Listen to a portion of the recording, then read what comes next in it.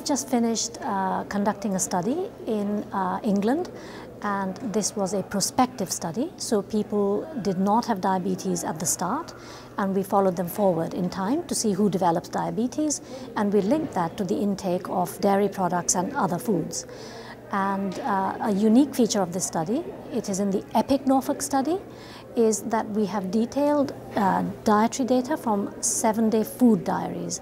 Now this is quite different to the standard uh, literature which is out there, uh, which is all based on food frequency questionnaires. So this gave us a distinct advantage of much more detailed and comprehensive uh, dietary data.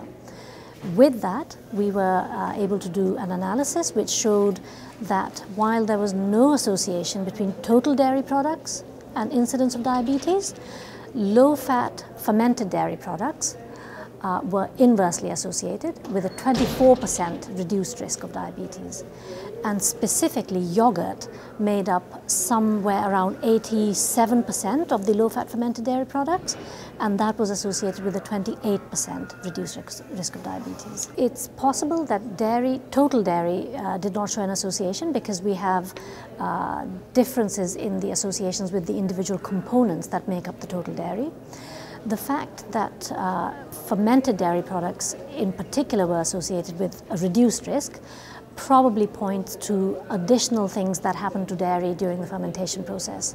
So dairy has a huge amount of nutrient density. It's, it's a good type of food, uh, dairy as a whole, uh, with vitamins, minerals, possibly the good type of saturated fatty acids in terms of uh, 15 and 17 uh, carbon chain length fatty acids.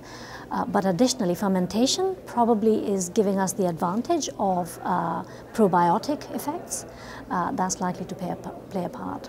All our dietary guidelines are based on the notion that all saturated fat has adverse health effects for cardiovascular disease, but we think this work contributes towards uh, reopening that understanding now for diabetes uh, in terms of whether uh, the dairy fat is different in terms of its quality and that not all saturated fat uh, is homogeneous and there are nuances in the sources of these dietary fats and dairy uh, products seem to be associated with probably good quality fat. There's evidence for this from other work. Of course, no piece of work is totally new in isolation.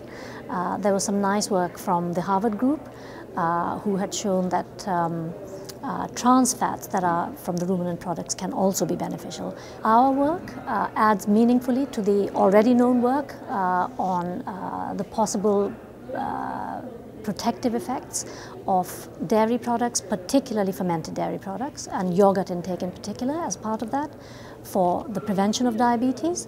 But we have to uh, always preface that with no single food or food group alone works in isolation and uh, we must place this in the context of overall healthy diets and healthy lifestyles.